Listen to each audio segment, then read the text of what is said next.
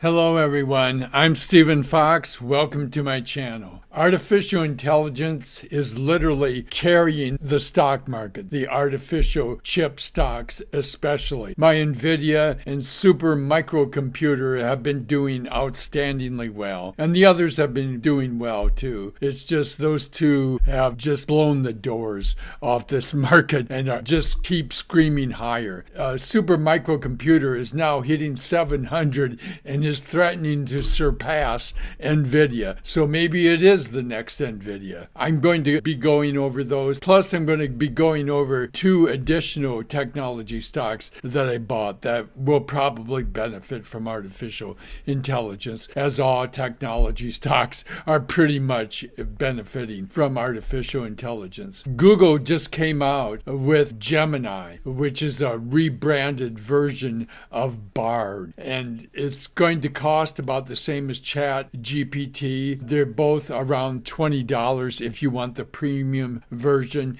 but they do have a free version that you can use. Google says that their Gemini does more complex logical reasoning and is better at coding. So they think they have the upper hand with this product. They're not the first mover, but they're claiming that they're the better mover at this point. It is outstanding that the stock market uh, keeps going up, and I think the main thing is that we do not have the fear of deflation that China does. China is in deflation. I think they're in recession. They're at risk of going into a depression. You do not want deflation. Uh, inflation is a problem, deflation is a problem nightmare. If we have to choose between the two, it's better to take a little inflation than to go into deflation, which is very hard to stop. And China is having a hard time stopping it their prices are actually dropping. The main thing for the economy in general is that oil is staying in the 70s, the mid 70s, and I hear that the United States is going to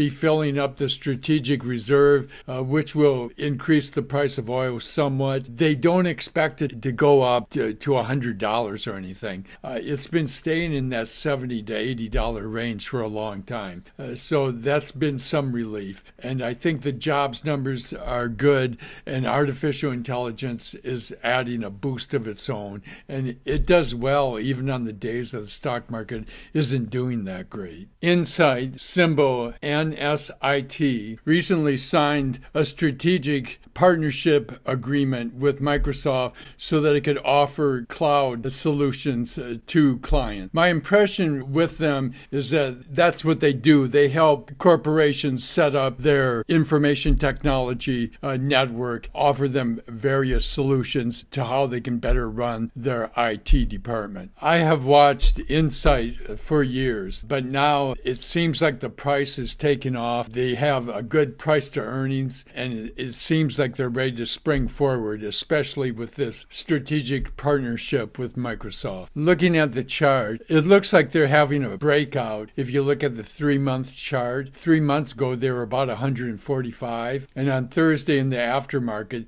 they hit 192. They're definitely uh, in a breakout. Their price to earnings is only 16, and they have a decent earnings growth rate of 16%. So this is an undervalued technology stock in my world. Technology usually is at least in the 20s. So if you get one that's around 16, I think you're getting a bargain. The 16% earnings growth rate isn't all that impressive, but it's decent enough, and I expected to grow with this partnership with Microsoft. Insight is an undervalued stock as its price right now is around 190, but its value is closer to $245. So we got a ways to go up with this one. Another hot stock is Vertiv. Vertiv Holdings, symbol VRT. They supply electrical IT equipment to data centers. Vertiv is a larger company than Insight. Vertiv is about 23 billion market capitalization, while Insight is only about 6 billion. Looking at the chart, you can see Vertiv has has gone up about from $40 to $61 in the last three months,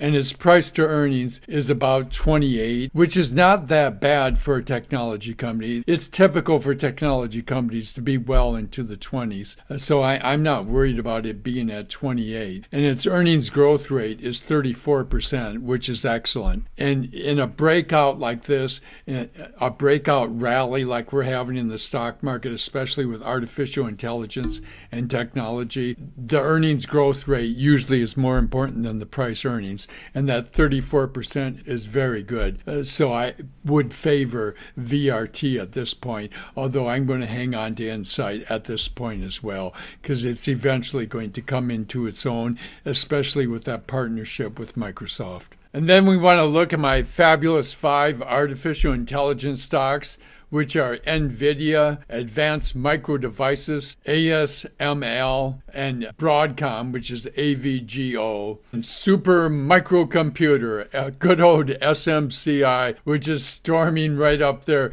and threatens to go past NVIDIA. So maybe it is the next NVIDIA. And looking at the chart, Advanced Micro Devices, AMD, has lost uh, less than 1%. It was 0.7% loss, is all. And then ASML has made about 3%. Broadcom AVGO has made about 6%. NVIDIA has made about 10%. And Super Microcomputer in five days made almost 20%. My experience is that it's usually a mistake to get out of these breakouts too soon. You want to ride it as long as you can and rely on your stop limit orders to bail you out. Thank you for listening.